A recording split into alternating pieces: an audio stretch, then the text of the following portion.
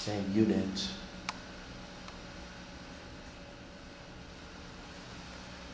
Hopefully you can hear it better this time. Here we go.